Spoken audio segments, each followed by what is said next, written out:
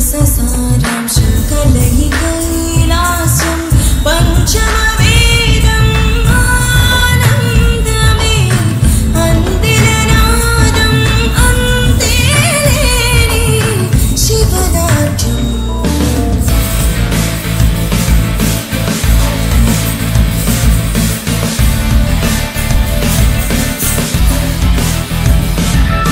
ब्रह्मसृष्टिलो Rachan Jana Gana Bharat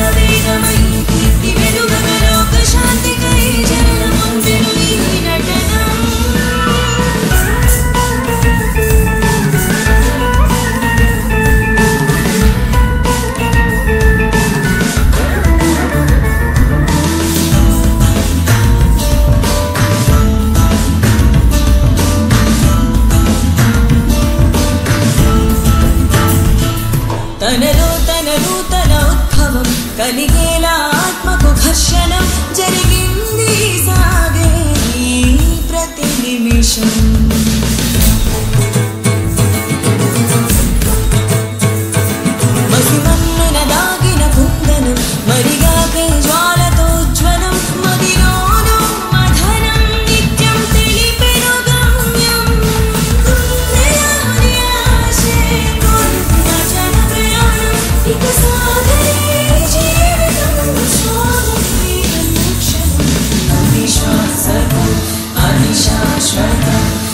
sunshine.